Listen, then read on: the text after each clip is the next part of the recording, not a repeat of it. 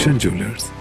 8 दिसंबर को चुनाव परिणाम घोषित होने का बेसब्री से इंतज़ार हो रहा है। नई सरकार किसकी होगी? मुख्यमंत्री कौन होगा? ये सवाल शीतलहर में जकड़े हिमाचल के सियासी फिजा में तैरने लगे हैं। अगले सीएम को लेकर इस बार मंडी के क्या चांस है और सीएम का कितना इफ़ेक्ट है, ये आने वाली आठ तारीख को पता चल जाएगा। मंडी में कुछ दिन पहले बीजेपी के राष्ट्रीय अध्यक्ष जगत प्रकाश नड्डा ने चुनाव प्रचार के दौरान साफ़ कर दिया था की प्रदेश में बीजेपी रिपीट होने आरोप जयराम ठाकुर ही मुख्य मुख्यमंत्री बनेंगे। यदि कांग्रेस सत्ता में लौटती है तो फिर उसकी ओर से कौन मुख्यमंत्री होगा? ये सवाल भी सभी के जहन में है। वही हल्के से ग्यारहवीं बार चुनाव लड़ रहे, आठ बार विधायक रहे, कोल सिंह ठाकुर कांग्रेस पार्टी में सबसे वरिष्ठ है। सीएम पद पर उनका दावा भी प्रबल है। वही कोल सिंह ठाकुर शिमला में पार्टी प्रदेशाध्यक्ष प्रतिभा सिंह से मिले हैं, जिससे द्रंग सहित सदर में भी कोल सिंह का नाम हर ज़ुबान पर है। कांग्रेस हाईकमान को अगर मंडी के ठाकुर जचे तो मंडी जिला के लिए अच्छा मौका होगा। लेकिन मंडी में वोटर अभी साइलेंट मोड पर जा चुके हैं और प्रत्याशियों की किस्मत ईवीएम में कैद है। सिराज विधानसभा इस बार रिकॉर्ड तोड़ बयासी प्रतिशत और द्रंग विधानसभा में वोट प्रतिशत उनासी रिकॉर्ड किया गया है। ऐसी ही वीडियो को देखने के लिए ई एन टीवी के फेसबुक पेज को लाइक करें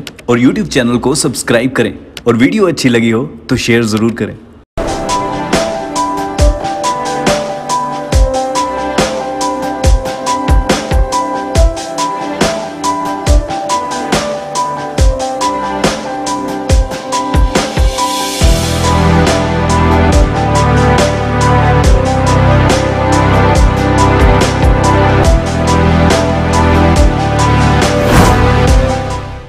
भूषण ज्वेलर्स अनमोल रिश्तों के लिए।